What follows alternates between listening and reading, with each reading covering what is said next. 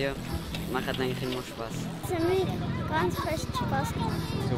Ich glaube, das ist einer meiner Lieblingsgruppen.